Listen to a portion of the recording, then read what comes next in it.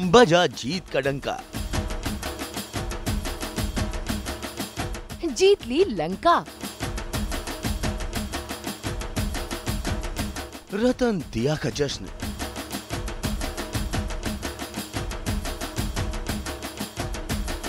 हाँ हाँ मनाइए मनाइए। जीत का जश्न खूब जोरों शोरों से मनाइए। भाई हक भी तो बनता है जिसके लिए खूब जमकर किया डिशुम डिशुम। दर्जनों लीटर खून बहाया। कोर्ट रूम में दिमाग चलाया। तो जश्न तो बनता ही है ना। देखिए तो अभय और अर्पिता के खिलाफ जीत हासिल करके कैसे सेलिब्रेट कर रहे हैं आज दिया और रतन। हाँ दिया तो बहुत ही खुश है। ऑब्वियसली केस जीतने की तो खुशी है ही। लेकिन दिया की इन खुशियों से घर में कोई है जो बहुत ज़्यादा खुश नहीं है। और दिया ये बात अच्छी तरह से नोटिस भी करने लगी हैं। काकी मासा इस बात से खुश नहीं है कि मेरी वजह से हमेशा रतन को तकलीफ़ें होती रहती हैं उनकी जान को खतरा होता है। तो वो थोड़ी अपसेट सी है मुझसे। अरे छोड़िए दिया काकी सा को। जब दाता हुकुम आपके साथ हैं तो फिर टेंशन की क्या बात है? हमने तो सुना है कि अब तो आपका दिल भी रतन शाह के लिए धड़कने लगा है।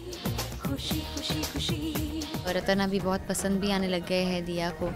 तो उनके साथ रहना उनके आसपास रहना बहुत ही अच्छा लगता है दिया को तो अभी तो बहुत हैप्पी है। कैसे हम जाने हमें क्या पता?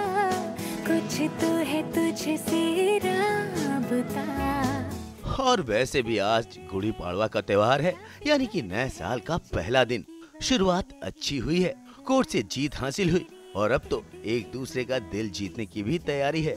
गुड़ी पाड़वा पाड़वाच्या हार्दिक शुभेच्छा। मैं यही बोलूँगी मैं एक मराठी मुलगी हूँ मुंबई की और मैं हमारे लिए ये न्यू ईयर है।